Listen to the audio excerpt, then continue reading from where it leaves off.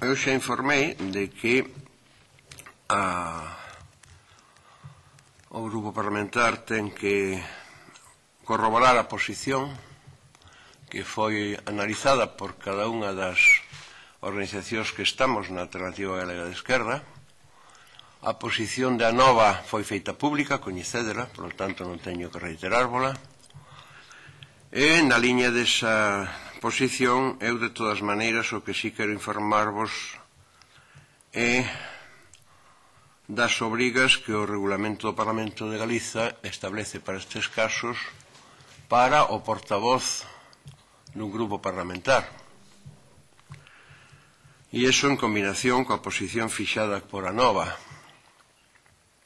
Recordaredes que a posición fixada por a nova o que poñía de manifesto era que Carme Iglesias Sueiro conculcou ostensiblemente os acordos da coalición e, polo tanto, eh, cometeu un acto que vai contra acordos que la coñecía perfectamente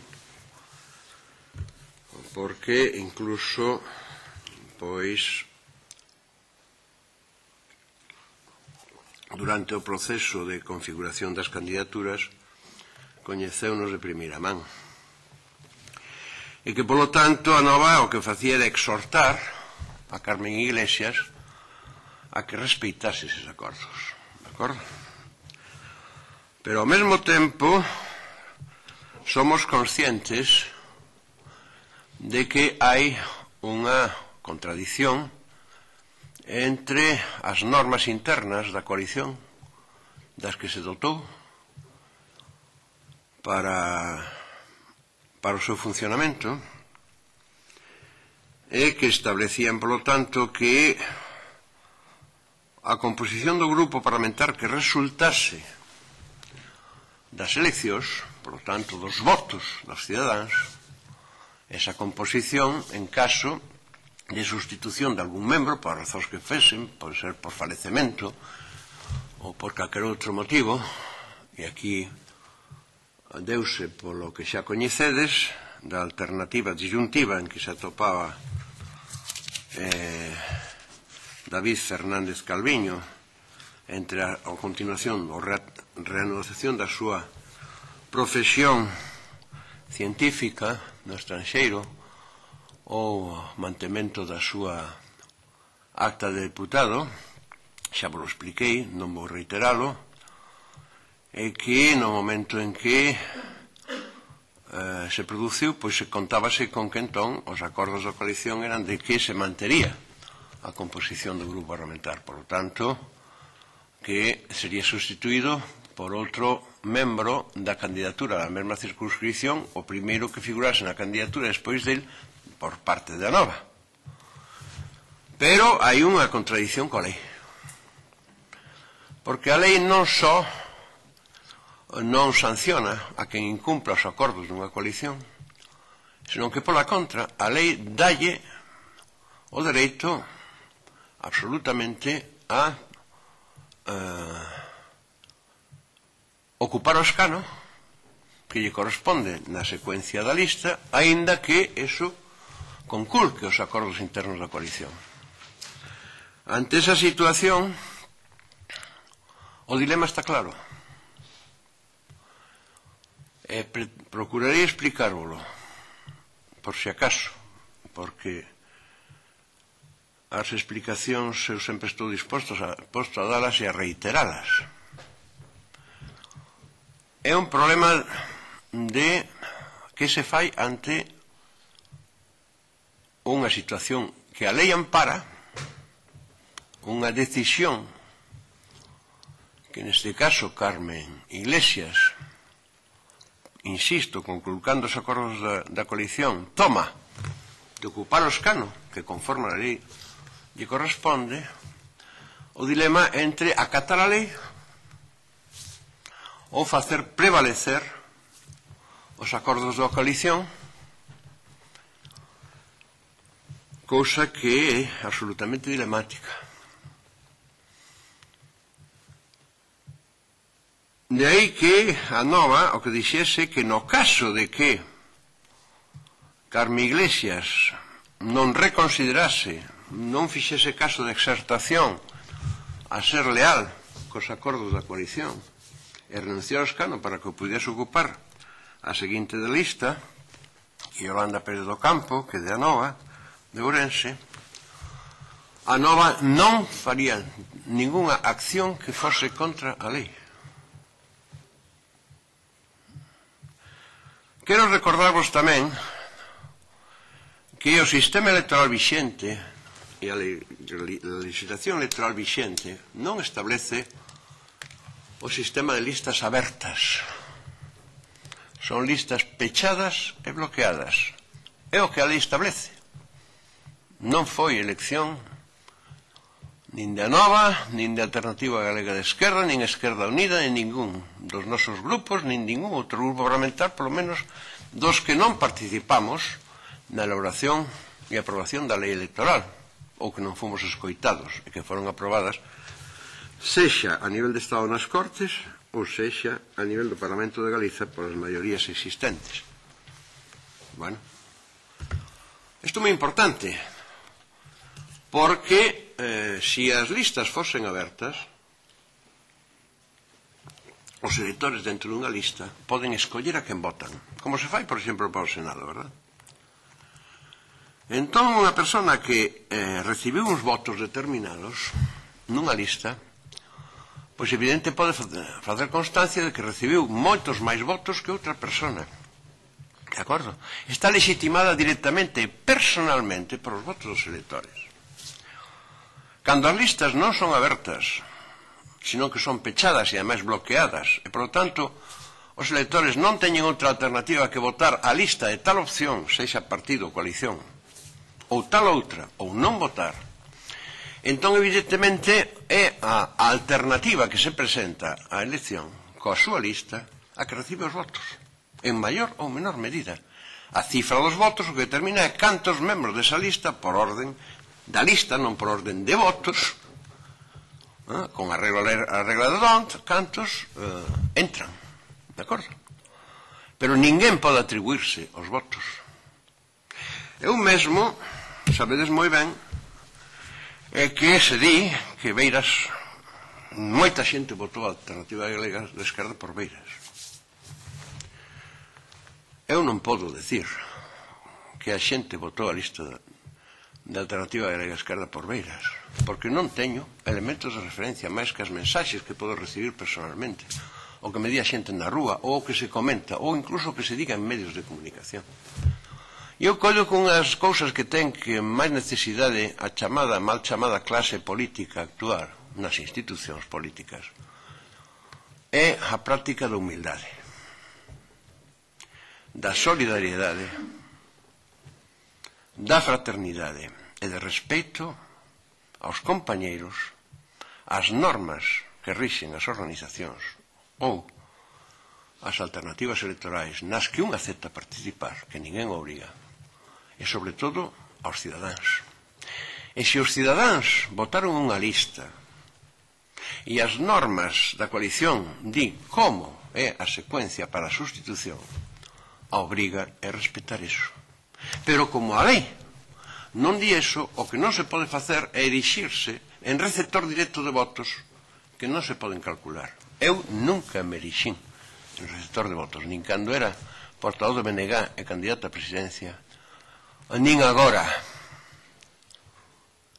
Sempre practiquei aquelo que penso e que digo. E hai, polo tanto, unha cuestión ética. Pero as cuestións éticas son da incumbencia da conciencia das persoas.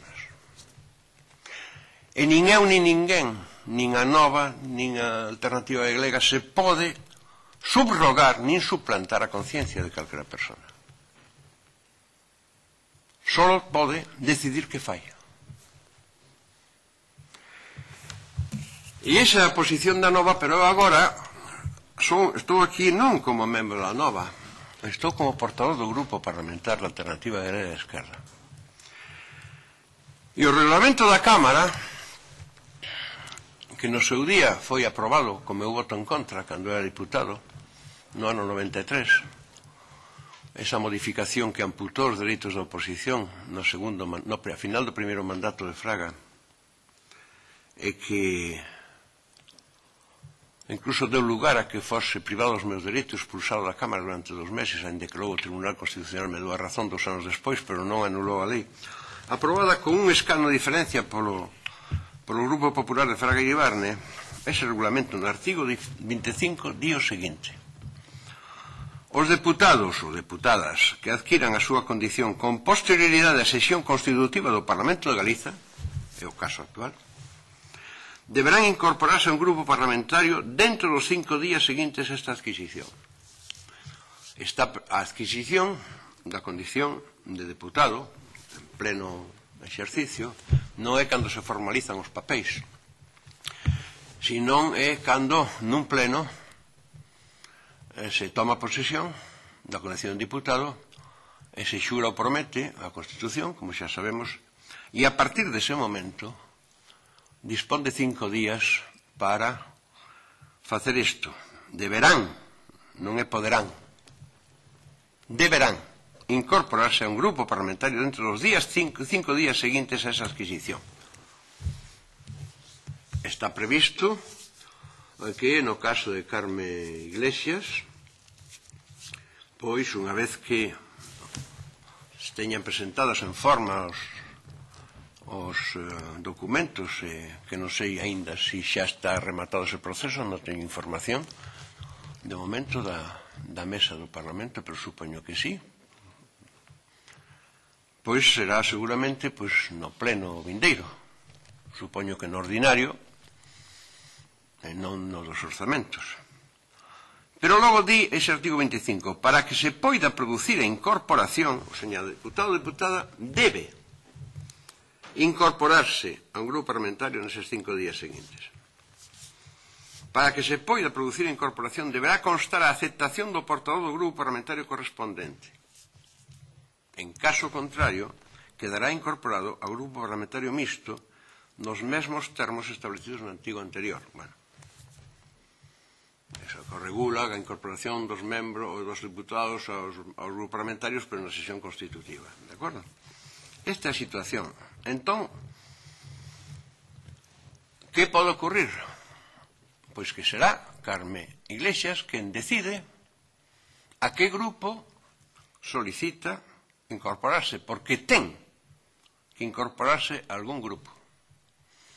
Por lo tanto, Carme Iglesias Sueiro pode optar por incorporarse ao grupo mixto. Evidentemente pero Carme Iglesias Suero pode optar por solicitar su incorporación a o grupo da Alternativa Galega de Esquerda. E só, en caso de que o portavoz non acepte esa incorporación, entón quedará incorporada ao grupo parlamentario mixto.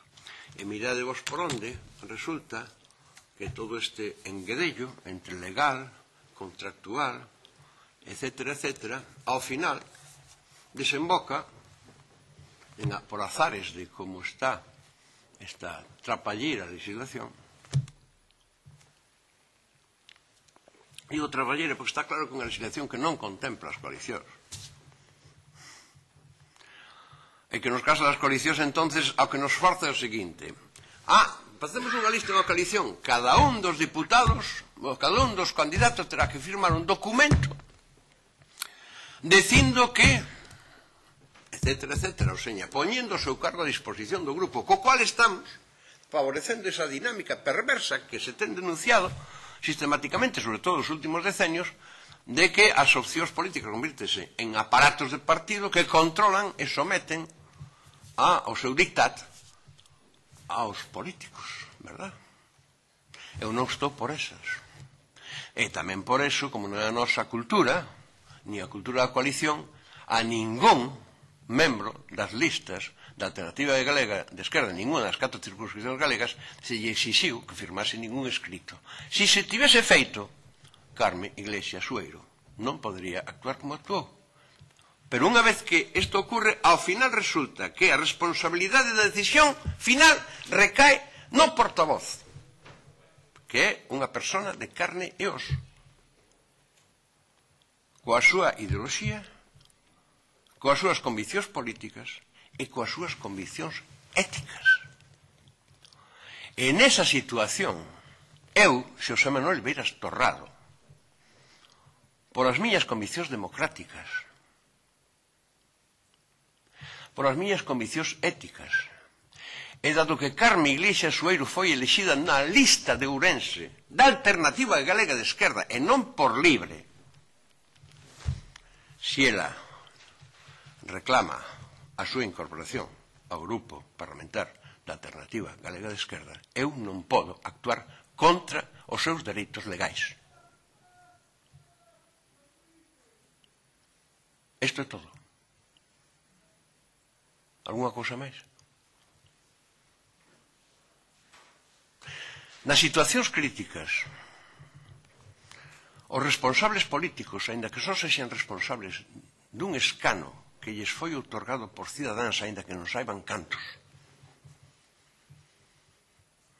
teñen que dar a medida da súa talla.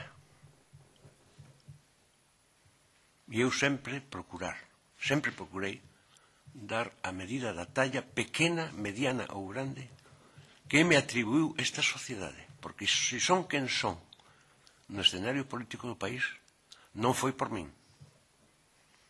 Non son soberbio. Foi por confianza dos cidadáns. Entón non hai máis nada que aclarar. Xa expliquei suficientemente a cuestión, pareceme que está claro, e máis diso non podo decir, pareceme que correcto.